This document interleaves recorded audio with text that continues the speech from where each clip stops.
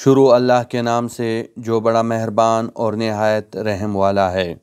रब्बी शराहली सदरी व सिरल अमरी वाहलुलगदतन मिलसानी यबकहो कौली। आज के इस वीडियो में हम पोलिंग ऑफिसर यानी पीओ की ज़िम्मेदारियों को डिस्कस करेंगे कि पोलिंग के दौरान पीओ की कौन सी ज़िम्मेदारियाँ होंगी। वीडियो शुरू करने से पहले अगर आप नए हैं और चैनल को अभी तक सब्सक्राइब नहीं किया है तो चैनल को सब्सक्राइब करें और बेल आइकन पर क्लिक करके आल कर दें ताकि हर नई आने वाली वीडियो सबसे पहले आपको मिले। तो चलिए अपनी वीडियो का आगाज़ करते हैं। पोलिंग ऑफिसर, नंबर वन, तरबियत लेना और हल्प उठाना। यानी उसको तरबियत दी जाएगी और पोलिंग के दिन उससे हेल्प लिया जाएगा कि वो जिम्मेदारियाँ पूरी ईमानदारी के साथ अदा करेगा। नंबर टू, वोटर का असल कौमी शनाख्ती कार्ड चेक करना इंतबी पेरस पर मौजूद तस्वीर और कवायद से इसका मवाजना करना और इंतबी पेरस में मौजूद वोटर का सिलसिला नंबर और नाम बुलंद आवाज़ से पुकारना। इस पॉइंट नंबर टू में पोलिंग ऑफिसर यानी पीओ की जो जिम्मेदारियाँ हैं, पोलिंग के दौरान उसका जो काम है, उसको बयान किया गया है। यानी उसका सबसे पहला काम यह है कि उसने वोटर के कौमी शनाख्त कार्ड को चेक करना होगा। कौमी शनाख्त कार्ड को किस तरह चेक करेगा? वोटर का असल कौमी शनाख्त कार्ड चेक करते वक्त मर्जेल चीज़ों पर तोज्जो दें। नंबर एक, वोटर का नाम, वालिद या शोहर का नाम, कौमी शनाख्त कार्ड नंबर और वोटर की तस्वीर। ये चार चीज़ें उसको देखनी होगी। यानी ओटर का नाम क्या है? शनाख्त कार्ड और पेरिस में उसको चेक करेगा। उसके वालिद या शोहर का क्या नाम है? कौमी शनाख्ती कार्ड नंबर क्या है? यानी उसके साथ जो पेरिस है, उसमें क्या नंबर है? और उसने जो शनाख्ती कार्ड लाया हुआ है, उसका क्या नंबर है? और इसके बाद वोटर की तस्वीर का मवाजना करना, यानी वोटर की जो तस्वीर दी गई है, उसके साथ उसका मवाजना करना। दो किस्म के कौमी शनाख्त कार्ड होते हैं, एक स्मार्ट शनाख्ती कार्ड होते हैं, एक सिंपल शनाख्ती कार्ड होते हैं। यानी वोटर का असल कौमी शनाख्त कार्ड चेक करना, इसके बाद इंतबी पेरिस में मौजूद तस्वीर और कवायद से इसका मवाजना करना और इंतबी पेरिस में मौजूद वोटर का सिलसिला नंबर और नाम बुलंद आवाज़ से पुकारना चार काम है। सबसे पहले कौमी शनाख्त कार्ड चेक करना, दूसरे नंबर इंतबी पेरिस में मौजूद तस्वीर और कवायद से मवजना करना, तीसरे नंबर पर इंतबी पेरिस में मौजूद वोटर का सिलसिला नंबर और नाम बुलंद आवाज़ से पुकारना। जैदुलमियात यानी एक्सपायर कमिश्नर कार्ड के हामिल अपराध वोट डाल सकते हैं। ताहम इस बात की तसली कर लें कि कौमी शनाख्त कार्ड असल है और इसी शख्स का है जो वोट डालने आया है। शनाख्त कार्ड की फ़ोटो कापी किस भी किसी भी सूरत में काबिल कबूल नहीं होगी। याद रहे कि शनाख्त कार्ड के अलावा कोई और दस्तावेज़ वोटर की शनाख्त और वोट डालने के लिए काबिल कबूल नहीं है। यहाँ पे जो पोलिंग ऑफिसर है, उनको ये एहतियात करनी होगी कि सिर्फ़ वो शख्स वोट डाल सकते हैं जिनके पास कौमी शनाख्ती कार्ड ओरिजिनल हालत में है। अगर उसका कौमी शनाख्त कार्ड एक्सपायर है, यानी एक्सपायर हुआ है तो इस बात की तसली कर लें कि कौमी शनाख्त कार्ड असली है। यानी एक्सपायर भी है, असली है तो वो शख्स वोट डाल सकता है, यानी उस शख्स का जो वोट है, वो वोट डालने आया है तो वो वोट डाल सकता है। इसके अलावा कौमी शनाख्त कार्ड की फ़ोटो कापी की भी किसी भी सूरत में काबिल कबूल नहीं होगी।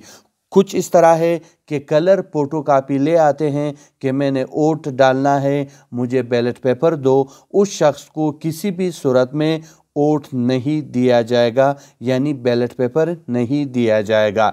याद रहे कि शनाख्त कार्ड के अलावा कोई और दस्तावेज़ वोटर की शनाख्त या वोट डालने के लिए काबिल कबूल नहीं है।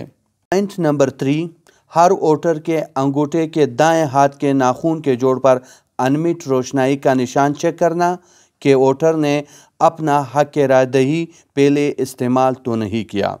इस पॉइंट में ये बताया गया है कि जब वोटर आपके पास आता है तो सबसे पहले उसके दाएँ हाथ के नाखून की जोड़ पर आपने अनमिट रोशनाई का निशान चेक करना है। इस बात की तस्दीक करनी है कि वो पहले हक राय दही इस्तेमाल करने के लिए तो नहीं आया है।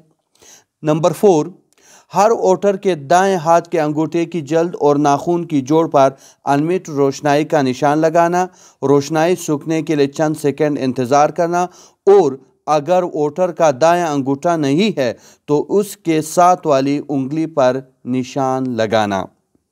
जब आप तस्दीक कर लें, तसली कर लें कि इस वोटर ने पहले अपना हक रायदही इस्तेमाल नहीं किया है तो उस वोटर का जो दाएँ हाथ है, उसके अंगूठी की जल्द और नाखून की जो जोड़ है, इस पर आपने अनमिट रोशनाई का निशान लगना, लगाना है। इसके बाद रोशनाई सूखने के लिए चंद सेकंड इंतज़ार करना होगा, ताकि ये रोशनाई सूख जाए और आपको तसली हो जाए। और अगर ओटर का दायां अंगूठा नहीं, यानी अगर ओटर का जो दायां अंगूठा है, वो नहीं है तो इसके साथ वाली उंगली पर निशान लगाना। यानी कोई ऐसा वोटर आ जाता है, उसका दायां अंगूठा नहीं है तो उसकी जो सात वाली उंगली है, उस पे आपने ये निशान लगाना है। अनमिट रोशनाई का कि उसने ओट डाल लिया है, यानी वो एक बार ओट डालने के लिए आ गया है।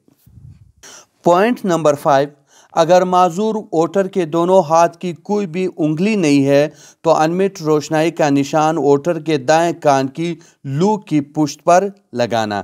यानी अगर कोई ऐसा वोटर आ जाता है, कोई माजूर वोटर है और उसके दोनों हाथों की कोई उंगली भी नहीं है तो अनमित रोशनाई का निशान आपने वोटर का जो दाएँ कान होता है, उसकी लोह की पुष्ट पर लगाना होगा।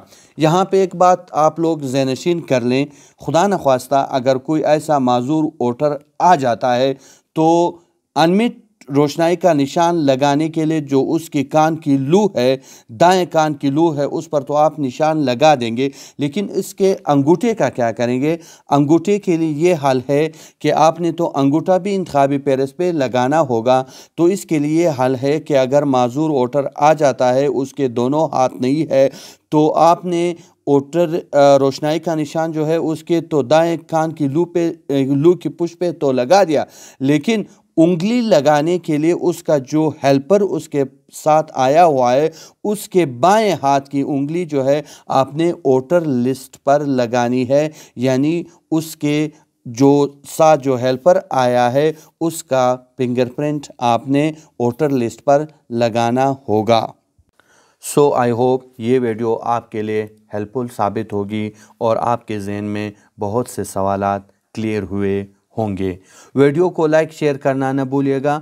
फीडबैक के लिए कमेंट सेक्शन में कमेंट ज़रूर करें। और हाँ अगर आप नए हैं और चैनल को अभी तक सब्सक्राइब नहीं किया है तो चैनल को ज़रूर सब्सक्राइब करें और साथ ही साथ बेल आइकन पर क्लिक करके आल कर दें, ताकि हर नई आने वाली वीडियो सबसे पहले आपको मिले। इसी के साथ आज की वीडियो का अख्ताम करते हैं। वीडियो देखने का बहुत शुक्रिया। दुआ है कि आप हमेशा मुस्कराते रहें। फ़ी अमान ला अल्लाह हम सब का हामी व नासिर हो।